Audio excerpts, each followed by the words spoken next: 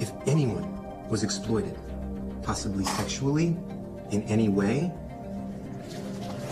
Just fuck it. Okay, screw everyone at this school. We just have to get the hell out of here, and I, I don't even care what it takes anymore. Can we go now?